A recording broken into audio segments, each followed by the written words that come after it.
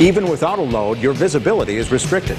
Always look in the direction of travel and keep a clear view of the travel path. Pedestrians always have the right of way. Keep an eye out for them. Watch those convex mirrors if you have them. Sound the horn at blind intersections and proceed slowly.